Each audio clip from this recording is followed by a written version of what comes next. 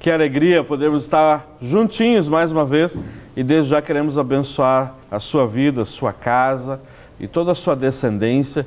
Você possa hoje, né, no dia de hoje, né, experimentar aí qual seja a boa, a perfeita e agradável vontade do Senhor na sua vida. Amém? Você recebe aí e diz amém? Glória a Deus. Então, aí absorva tudo que o Senhor tem para você no dia de hoje e usufrua dessa presença bendita no nome de Jesus. Amém. Bom dia também, viu? É um prazer estarmos aí mais uma vez reunidos e que o Senhor continue essa linda obra, porque fiel é aquele que fez a promessa. Eu fico agora contigo deixando uma, uma mensagem pequena, mas muito significativa. Deus ouvirá e responderá a sua súplica. Amém. Viu? tenha isso como verdade e certamente hoje, mais uma vez, se Deus assim nos permitir, vamos trabalhar num tema aí muito interessante também e que possa ser edificante aí para todos nós. Que Amém. o Senhor nos acompanhe aí. Em nome de Jesus. Privilégio ter você mais uma vez aí conosco, viu? Aleluia. E o meio de comunicação conosco aqui durante o programa aqui ao vivo é o nosso WhatsApp, que é o 98402 9756. 98402 9756, você pode enviar mensagem digitada, não é? Então, para a gente poder aqui citar, mencionar você, ou mesmo o seu pedido de oração, tá bom? Então, evite ligar para a gente aqui no horário do programa, ou mesmo mensagem de voz, a gente não vai ter condições de responder você, tá bom? É uma alegria. Eu quero mandar um abração já aqui no início do programa, né, para o tio Paulo, a tia Selma, né? A tia Monique, a tia Monique, mamãezinha, né? A donazinha, sempre acompanhando aqui a programação, né? Da Clínica Dalma. Um beijão para vocês aqui. O pastor Guerra está de férias, mas sim para vocês. Semana que vem já está de volta aqui. E aí, pastorzão? Peraí, hoje nós estamos então trabalhando aí num tema muito interessante.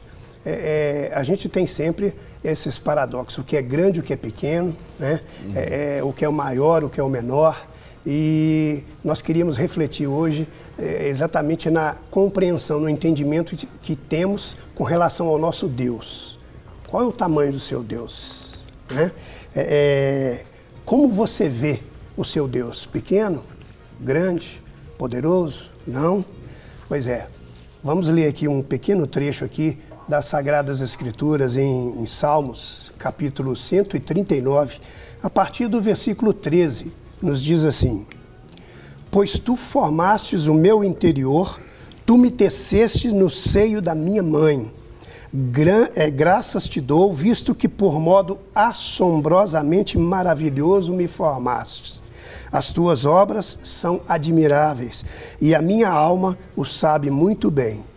Os meus ossos não te foram encobertos, quando no oculto fui formado e entretecido como nas profundezas da terra.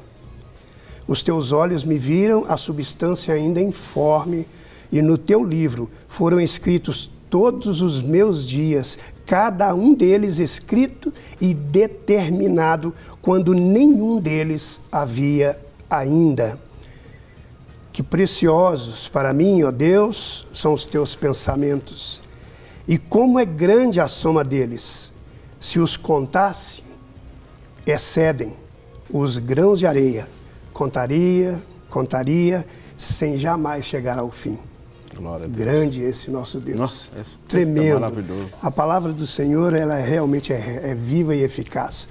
Aqui a gente vê nesse texto realmente, é, é, aliás, no Salmo 139, nos mostra é, é, atributos de Deus, né? alguns atributos que são assim é, é, indispensáveis para o nosso entendimento, a nossa compreensão e vivência.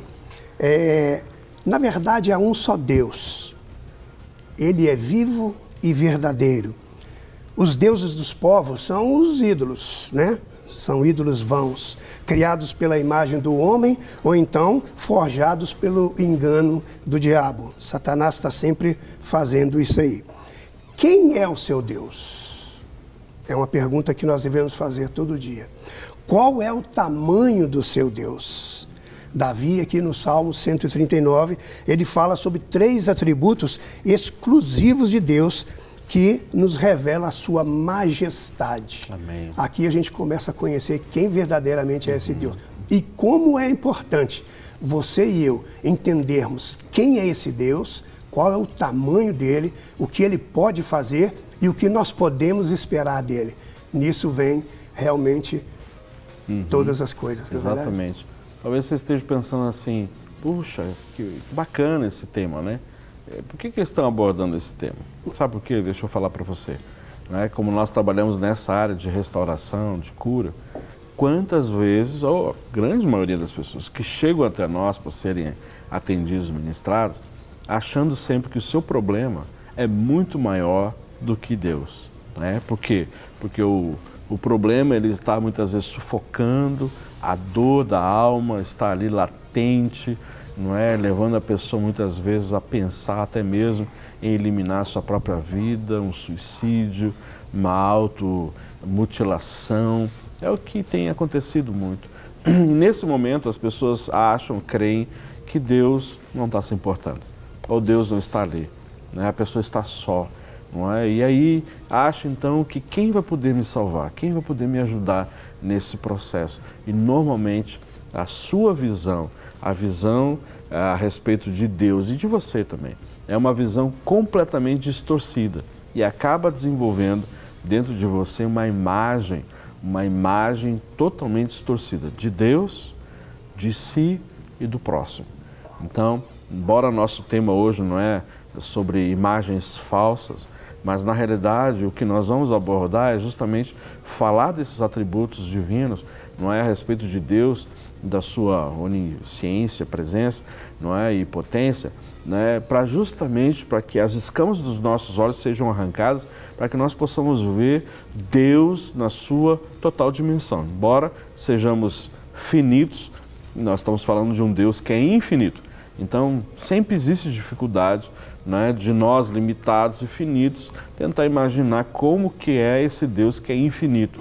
Mas ele não é só infinito, ele é Emmanuel, ele é Deus conosco, é Deus presente. E ele se revela através da vida de Jesus e também do seu doce Espírito Santo a sua dimensão, a sua grandeza, o seu amor, a sua fidelidade. E é isso que a gente quer abordar hoje com você, para você possa entender que talvez esse problema, essa dificuldade esteja assim, quase que te matando, sufocando. Mas Deus sabe até onde você pode suportar Ele é muito, muito, muito, muito, muito. Nós ficaríamos aqui amanhã todo dizendo muito, muito, muito maior de tudo isso que você está passando e você está vivendo, né, pastor? É verdade. E vale a pena a gente considerar, já que o nosso Deus é infinito, e se nós nascemos de novo, nós já tomamos posse dessa vida eterna. Então, é, nessa compreensão, quando nós entendemos quem verdadeiramente é o nosso Deus, nós tomamos posse da vida de Jesus em nossas vidas. E é ali é que faz a diferença. Nós não podemos, então, de maneira alguma, como o pastor estava mencionando, olhar para as circunstâncias, entender que as nossas lutas e dificuldades são maiores do que o nosso Deus. Quando você faz isso, você está simplesmente levando a sua vida no âmbito natural. Você não consegue enxergar o infinito, o impossível, aquilo que o seu Deus pode fazer. E aí você se deixa ser levado e certamente nós trazemos sérias consequências né, é, é em virtude dessa postura. Não olhe para a circunstância. Nós não andamos né, é, é, segundo as coisas naturais, mas nós cremos no nosso Deus. E é exatamente essa a diferença. Para tomarmos posse, nós precisamos olhar com os olhos de Deus. Toda e qualquer dificuldade, se eu olhar naturalmente, eu me fracassarei. Uhum. Mas se eu olhar com os olhos de Deus, eu sei que aquilo é apenas um trampolim eu vou vencer aquela e Deus está me preparando para uma luta maior lá na frente. Com certeza. E é exatamente nessa perspectiva que Deus quer que você é, é absorva nessa hora para a glória de Deus, Amém. o nosso Pai. Primeiro ponto? Sim. Se trata exatamente do Deus onipotente. Aleluia. Onipotente é o único que pode todas as coisas. Amém. Deus pode? Pode receber todas as novidades do canal, inscreva-se e se curtir o vídeo, clique em gostei.